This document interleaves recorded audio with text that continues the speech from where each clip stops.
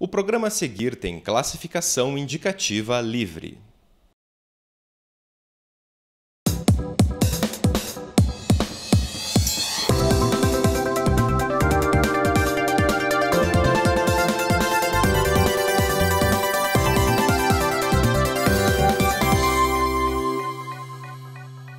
Olá, está começando mais um Plural, um espaço para se discutir temas de grande repercussão da atualidade. E o nosso tema de hoje, há alguns meses, faz parte do dia a dia dos brasileiros. É a reforma da Previdência. Uma das primeiras medidas e possivelmente a mais polêmica do governo Temer até aqui. O assunto é motivo de muitas discussões porque trata dos direitos dos brasileiros. E justamente por isso, a reforma da Previdência enfrenta uma resistência por grande parte da população. Para falar sobre esse tema, nós recebemos aqui no estúdio hoje o professor de Direito do Trabalho da UFPR, Sidney Machado, e também professor de Economia da UFPR, José Guilherme Silva Vieira. Professores, primeiramente, muito obrigado pela participação de vocês aqui no Plural. Falar de um tema aí que tem tido muita repercussão né, desde o ano passado. Começar pela, vamos começar do início. A última reforma da Previdência Pública foi em 2013, ainda no governo Lula. É, era evidente que uma nova reforma era necessária. Porém, muitos pontos aí trazem uma certa rejeição da população, o que é normal até porque envolve os direitos dos trabalhadores brasileiros. Né? Vamos começar na opinião de vocês. Começar por você, professor José. Quais são os, as principais urgências dessa reforma? Bom, a principal urgência é a questão da idade mínima porque nós estamos passando por uma fase de transição, né, uma fase de transição demográfica, na qual é, alguns países passaram há mais tempo, na qual o país vai envelhecer muito. Né? E a base de contribuição para a Previdência tende a diminuir, portanto, o sistema vai ficar mais pesado. Professor Sidney, na, na opinião do senhor, qual a maior urgência dessa reforma? Bom, o debate da reforma da Previdência não é novo. No Brasil, pelo menos uns 20 anos. Nós já fizemos três grandes reformas no Brasil, 98, 2013 e 2005. Cada reforma ela tem, claro, o seu contexto, o seu debate. No mundo inteiro há reformas, no Brasil também, e aqui é localizado a temperatura econômica e política do momento. A urgência do debate é o seguinte, há 20 anos se dizia que era urgente a, a reforma, ah, senão o sistema ia falir. Aquela reforma não se fez, a de 98 não se completou, a de 2013 e assim por diante. Então, de fato, o sistema hoje precisa de algum ajuste, precisa de reforma. Há argumentos do mercado para ajustar a previdência, argumentos de ordem do Estado, essa questão demográfica de fato é importante, mas há também um ponto de vista dos segurados. Então, a questão hoje, talvez melhor pergunta é qual reforma da previdência nós deveríamos fazer neste momento e a partir dessa resposta, dizer qual urgência nós teríamos. A atual proposta é uma urgência do mercado. Professor, e toda essa reforma aí, né, ela tem como motivo principal justamente um, como que posso dizer, equilibrar né, as contas públicas, né?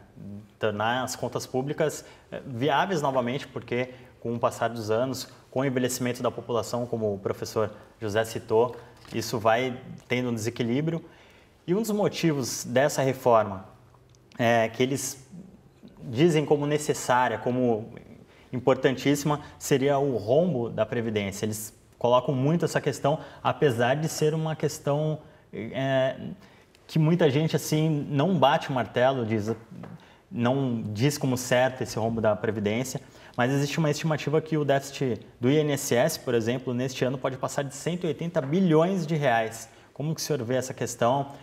Existe realmente esse déficit? Não existe? O que está certo nessas divulgações, professor? É, há três premissas no, na proposta do governo para fazer a reforma. Uma delas é a transição demográfica, que é um fato no Brasil mesmo. A segunda é a questão do ajuste fiscal e a outra é a despesa previdenciária. Tá? Nessa questão da despesa previdenciária, de fato, houve um aumento no Brasil bastante grande nos últimos anos. O professor deve concordar comigo que é da área monetária. Tá? Ah, mas essa, esse desajuste, digamos, do, da Previdência tem origem em vários fatores. Um deles é o crescimento econômico. Tá? que é uma o Brasil passa por uma crise momentânea. O segundo, e talvez esse é que tem um debate pouco explorado, quase nenhum, é o problema do mercado de trabalho. Então, a previdência arrecada pouco porque o mercado de trabalho é desorganizado. Há muita gente desempregada, há muita gente com baixos salários, e isso repercute na previdência. Então, a meu ver, nós temos que fazer uma reforma para resolver a previdência do ponto de vista de sustentabilidade, que é essa talvez a questão, a médio e longo prazo, mas há questões estruturais que não foram resolvidas no Brasil. Por exemplo, o mercado de trabalho. Então, quando se resolver isso, quando a terceirização continuar ah, em proporções gigantescas, nenhuma reforma dará conta. O que nós faremos ah, não é salvar a Previdência, mas destruir a Previdência. Professor José Guilherme, como que o senhor analisa essa questão do, do déficit da, da Previdência, do INSS, que seria o principal motivo aí apontado né, para essa reforma da Previdência? É, eu acho que também a questão do déficit do serviço do servidor público também, né? No global você tem essa questão. Mas gostaria de aproveitar uma frase é, a respeito da questão da, da se essa reforma vai resolver alguma coisa, né? É, nós já tivemos essas uh, três reformas, duas grandes reformas e um, um puxadinho. Né? É, e, e essa daqui está se afigurando no mesmo sentido. Nós estamos fazendo, é, na realidade, tirando água de dentro de um navio que está afundando. É, nós, com baldes, né? É, nós não vamos conseguir resolver a questão da Previdência e não conseguiríamos nem se 100% dessa proposta do governo federal, né, que já está sendo é, cortado, né? o governo já está negociando, mas nós não conseguiríamos resolver o problema da Previdência de longo prazo nem com a aprovação de 100% das reformas, porque realmente há questões estruturais aí que são mais amplas e que não se resumem mesmo a, a apenas ao envelhecimento da população. Você vê, a própria dinâmica do mercado de trabalho, ela é de certa forma desconhecida, porque hoje em dia você tem muito empreendedor, né? É muito trabalhador é empresa individual. Então, qual vai ser a base que vai estar pagando a previdência no futuro? Nós não sabemos ainda. Né? Nós estamos esticando uma linha no tempo. Então, o mais provável é que em algum momento no futuro nós venhamos a experimentar uma nova reforma da Previdência. Então, o que a sociedade deveria fazer, na minha opinião, e isso tem a ver com essa questão de se é deficitário ou não é deficitário, é separar as coisas. Né? Uma coisa é Previdência, né, para é, pagar as aposentadorias, e outra coisa são os programas sociais que vêm junto na Seguridade Social. E é, estabelecer que todos esses programas sociais sejam bancados pelos tributos é, da sociedade. A sociedade tem que escolher o que ela quer financiar e separar a Previdência, para que não haja essas contaminações. Né? É, e também pensar que é, provavelmente a gente vai ter que resolver essa questão da base de arrecadação da Previdência no futuro de alguma outra forma. É, o presidente Michel Temer, ele mesmo colocou, quando foi apresentada essa reforma da Previdência, uma preocupação né, com o futuro, lógico, colocando até como exemplo os países europeus como Espanha, Portugal, também a Grécia, né, que tiveram, que tem um problema hoje com a, com a questão previdenciária, não é isso? Então, é, ele tem essa preocupação já pensando no futuro, que é o óbvio, mas a questão é muitas críticas com relação ao que está sendo feito. Nós temos aí um dos motivos né, que, que tem gerado mais críticas, é, além desse, da questão que eles colocam do rombo crescente, a, ela, é, a reforma é tida por muitos críticos como um crime contra os direitos do trabalhador. A gente separou um vídeo é, feito pelo Movimento dos Trabalhadores Sem Teto, que ele ilustra alguns pontos, isso do, das primeiras propostas feitas né, para a reforma da Previdência.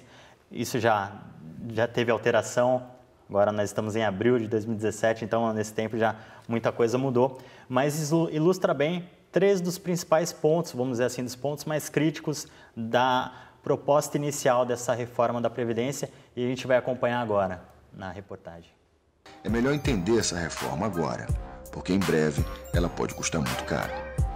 A proposta de Temer tem vários ataques aos nossos direitos. Vamos ver os três principais. Primeiro, eles querem aprovar a idade mínima para aposentadoria aos 65 anos. Isso num país onde muitos morrem antes disso. a expectativa de vida em várias regiões do Norte e Nordeste está abaixo de 65 anos. Nas periferias das grandes cidades, também. Em São Paulo, por exemplo, bairros como Capão Redondo, São Mateus, Grajaú e tantos outros têm média de vida menor que 65 anos.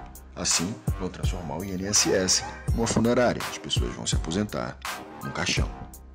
E essa proposta, ela vem logo de Michel Temer, que se aposentou aos 55 anos de idade, ganhando mais de 30 mil reais. A maior parte dos deputados e senadores que podem aprová-la também se aposentam cedo e cheios de privilégios. Segundo, querem igualar a idade da aposentadoria de homens e mulheres. Isso é uma tremenda injustiça. A maioria das mulheres brasileiras tem a chamada dupla jornada. Trabalham fora e depois em casa, cuidando dos filhos e das tarefas domésticas. O Brasil ainda é um país machista e a maior parte dos serviços domésticos, infelizmente, sobra para as mulheres. Com esse acúmulo de trabalho, é justo que as mulheres se aposentem antes, como é hoje. A reforma da Previdência quer acabar com esse direito. Agora se prepare para ouvir essa. Terceiro, querem exigir 49 anos de contribuição com a Previdência para que você possa ter aposentadoria integral. Hoje, são 25 anos, quase a metade. E veja, não são 49 anos de trabalho, são 49 anos de contribuição. Quem trabalha por conta própria ou sem registro não conta. Se ficar desempregado, esse tempo também não conta. Ou seja, para alguém se aposentar com salário integral aos 65 anos, tem que começar a trabalhar aos 16 anos, com carteira assinada e permanecer assim até os 65. Não pode ficar desempregado e nem deixar de contribuir nenhum dia. É possível isso? Na prática, isso representa o fim do direito à aposentadoria para a maior parte da população brasileira e uma redução drástica da aposentadoria dos que sobrarem.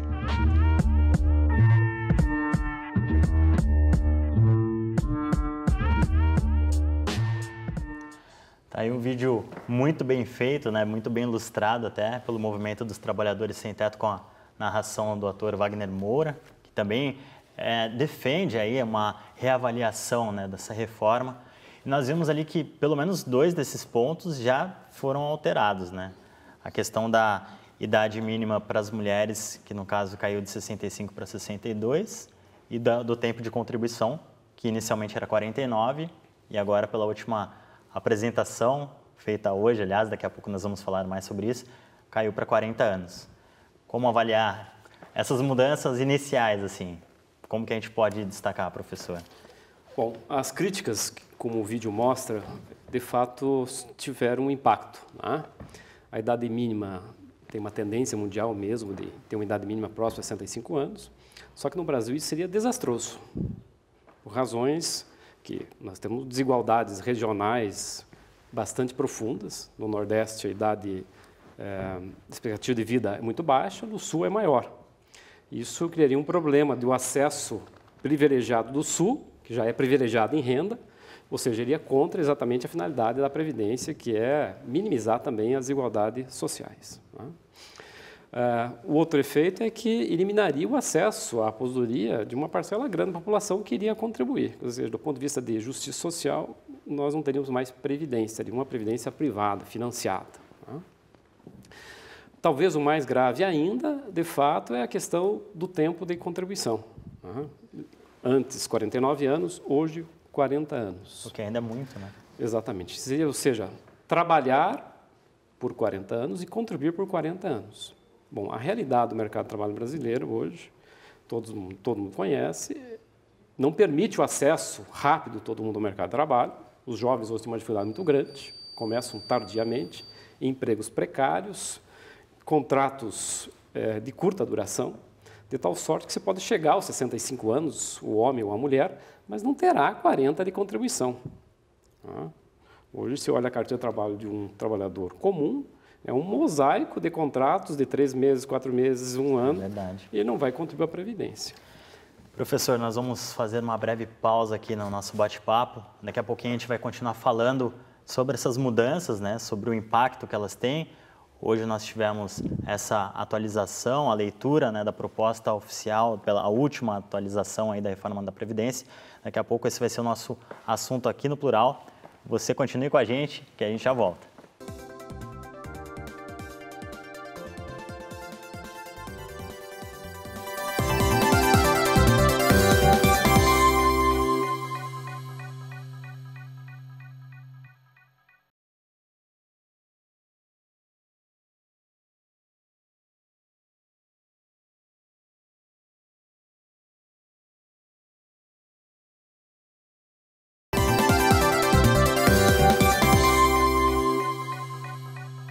A reforma da Previdência é o assunto de hoje aqui no Plural e, na verdade, em todo o Brasil, porque a data da gravação do programa, esse dia 19 de abril, coincidiu com a apresentação da proposta final da reforma.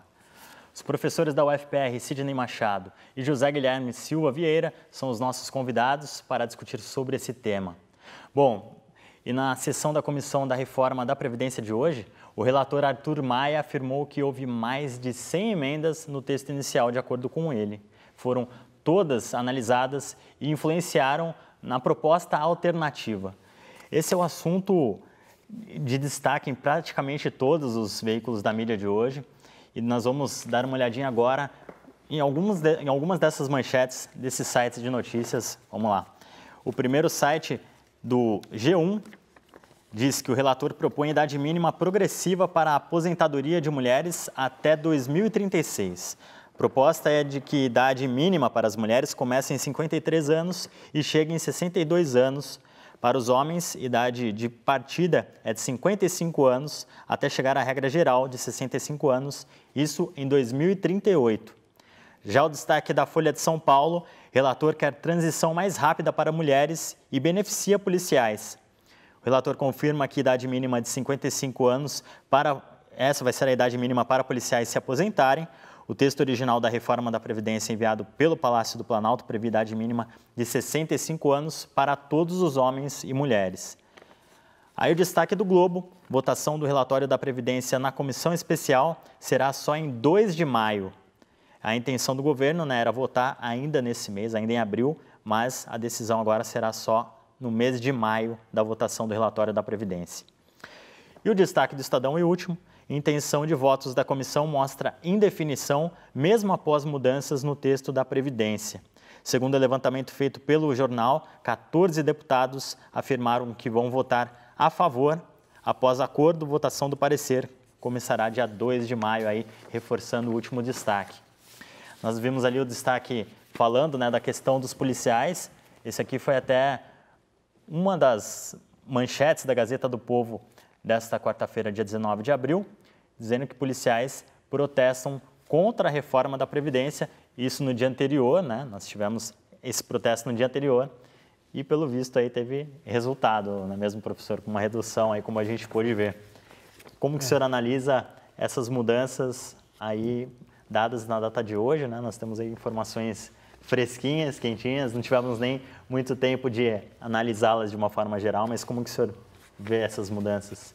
Olha, eu acho que a, a crítica que eu uh, concordo mais com relação à reforma da Previdência uh, não tem tanto a ver com o vídeo, porque como a gente viu, uh, o governo já fez concessões e já modificou o panorama para algumas das propostas originais.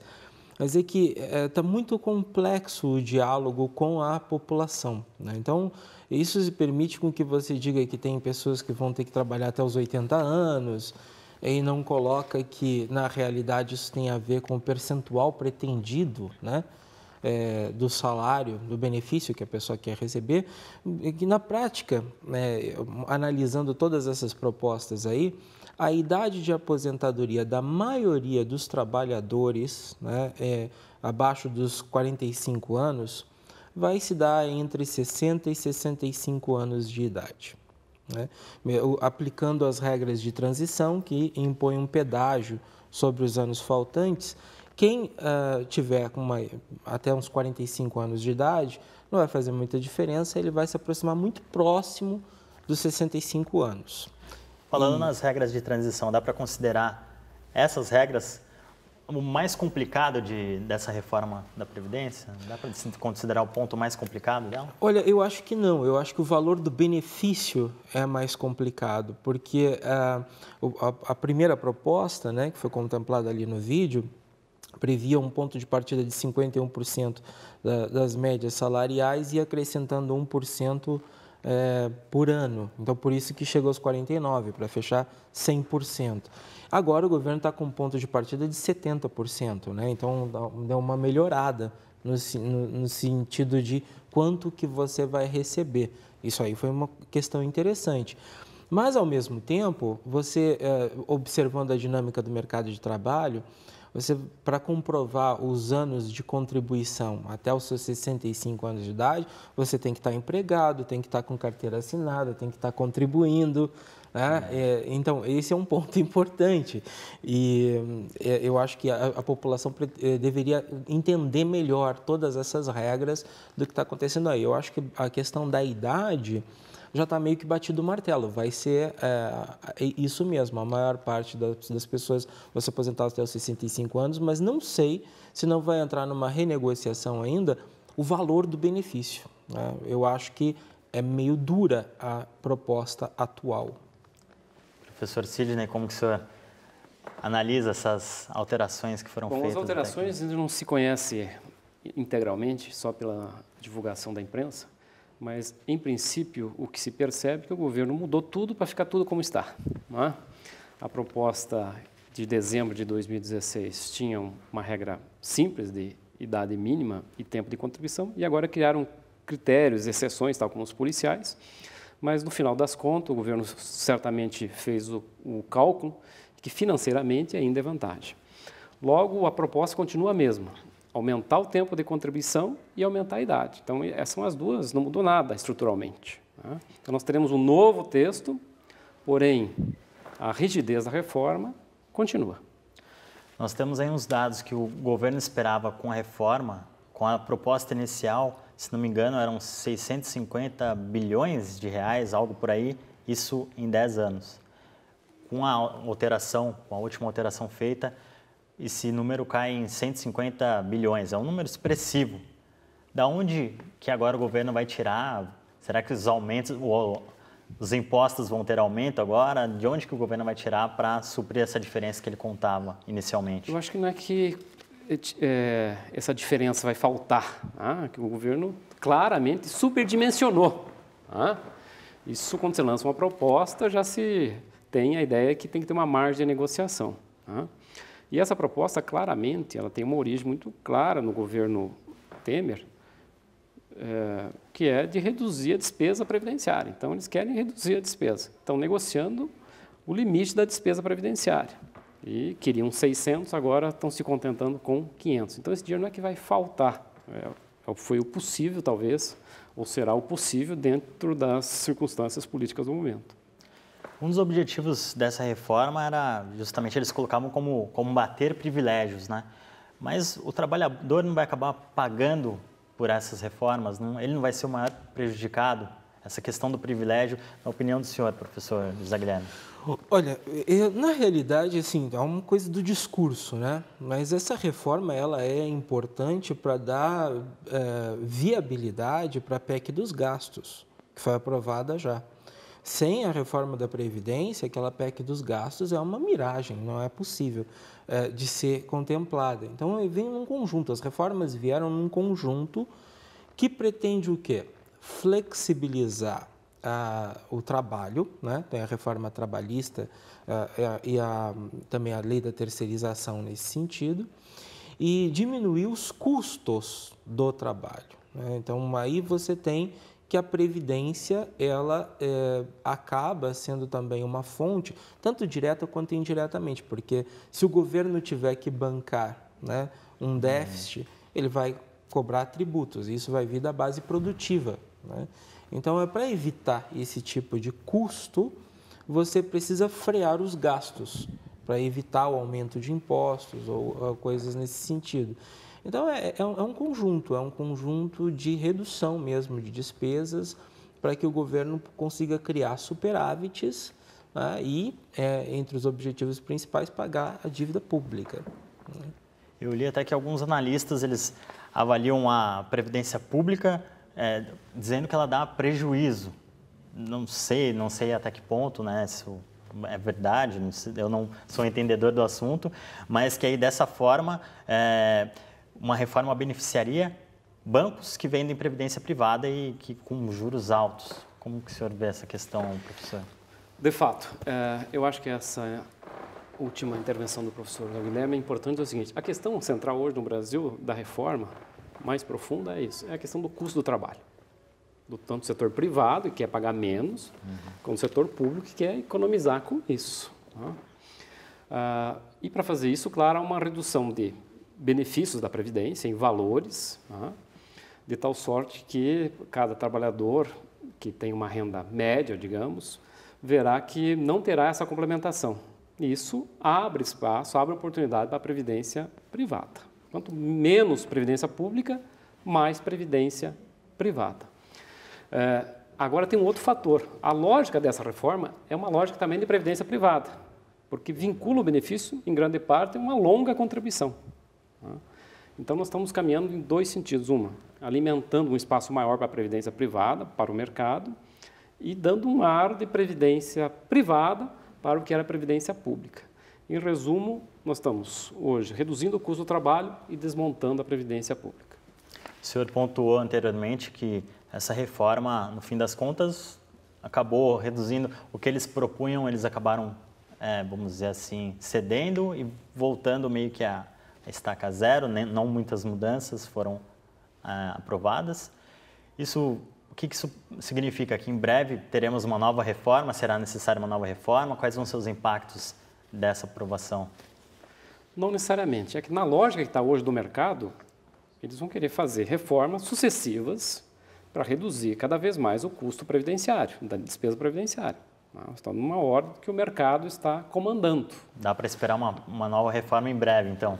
A menos que haja uma reversão de perspectivas políticas. Isso ocorreu já na história. Tá? A, Previdência, os modelos que nós temos hoje, são modelos é, estruturados no pós-guerra, quando as economias estavam precárias e para reconstruir é que se construiu a Previdência, ou seja, dar uma proteção social para fazer com que as pessoas se engajassem no trabalho, isso gerasse produtividade e os países crescessem. Nós estamos numa lógica hoje reversa disso. Tá? Então, a Previdência hoje é, é colocada como um problema. E ela foi, no passado, uma solução para a crise. Nós estamos aí, para encerrar essa questão do, do assunto da reforma da Previdência, professor José Guilherme, na opinião do senhor, qual seria a solução, se ela, que ela existe, né, é, para essa reforma da Previdência? Seria, de repente, cobradas é, empresas que estão devendo, tem empresas que devem é, a Previdência mais de 420 bilhões, pelo que eu li, Seria cobrar essa dívida? Isso aí daria para ter como uma solução? Não, não conseguiria fazer. Em primeiro lugar, porque é, muita dessa dívida é fundo perdido. É, a, a lista de devedores tem Varig, VASP, Transbrasil, tem uma série de empresas que não tem mais o que, o que ser cobrado. Uhum. Então, é, achar um número mágico, assim, um dinheiro que está enterrado, que vai tapar o buraco, não resolve as coisas. Porque eu quero só lembrar uma questão. Mas todo mundo fala da expectativa de vida hoje, mas você pensa a previdência sempre para o futuro. Então, os dados, se tem déficit, se tem superávit hoje, a rigor não teriam nenhuma importância. O que você tem que olhar é a trajetória no futuro. E a trajetória é preocupante: é o envelhecimento da população, é o encarecimento do sistema, é uma diminuição da base de contribuição. Então, isso tem que ser tratado. Né? É, eu acho que é, não tem mágica a curto prazo. Olha, eu quero agradecer muito a presença de vocês aqui no Plural de hoje. Com certeza enriqueceram muito esse debate aqui e deve ter clareado as ideias de muita gente que tem dúvidas né, sobre esse assunto. Eu mesmo me aprofundei agora para fazer o programa, tive que fazer as pesquisas, acabei entendendo um pouquinho mais e que é uma questão que influencia diretamente né, nos direitos do trabalhador, de todos os brasileiros. Quero agradecer então pela presença de vocês aqui hoje no Plural e também agradecer a presença de você de casa que nos acompanhou ou também pela internet. Lembrando que você pode rever esse e outros programas da, UFP, da UFPR TV no nosso site ou nas nossas redes sociais. Tchau, tchau.